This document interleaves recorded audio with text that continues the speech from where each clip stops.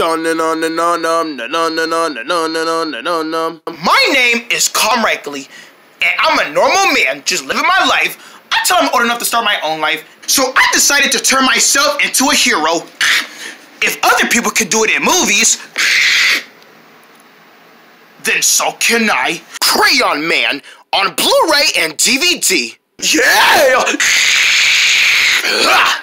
It's action-packed fun. What's up, punk? I'm nothing, just trying to knock you out. It's crayon-tastic. Ready to go swimming?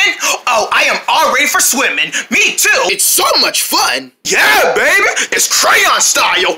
The best superhero movie yet.